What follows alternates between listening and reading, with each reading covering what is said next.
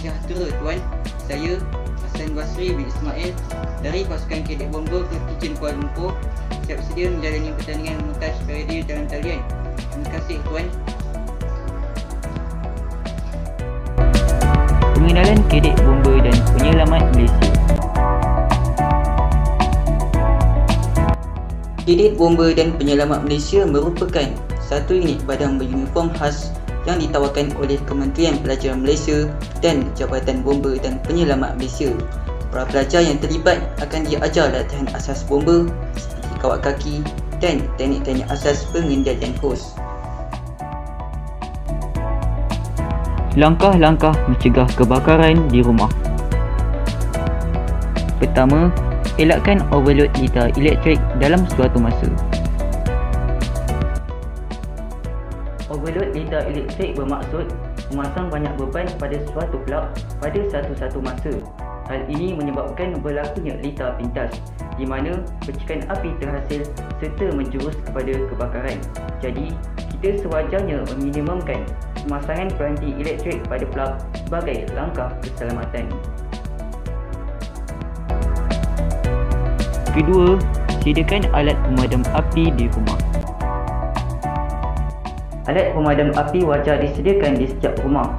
Hal ini sebagai satu tindakan awal sekiranya berlakunya kebakaran kecil agar ia dapat dikawal dari terus merebak.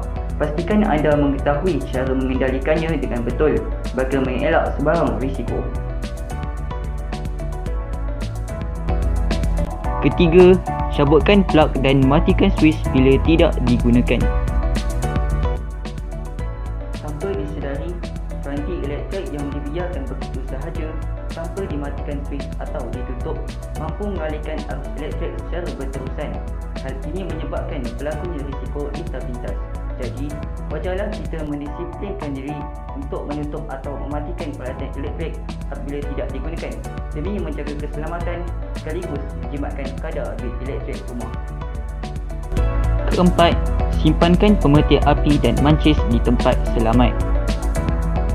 Peralatan seperti pemetik api dan mancis merupakan alat yang amat berbahaya kerana ia boleh mencetus kebakaran yang besar di rumah.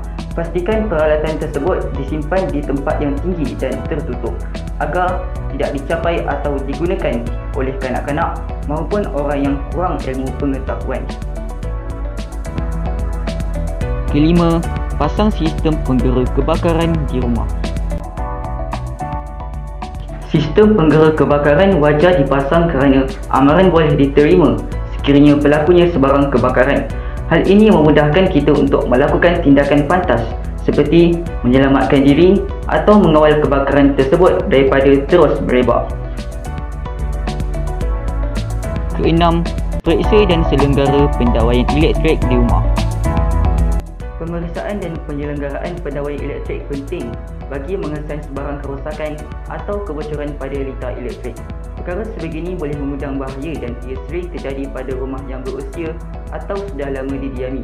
Anda boleh mendapatkan perkhidmatan TNB atau kontraktor elektrik untuk tujuan pemeriksaan dan penyelenggaraan.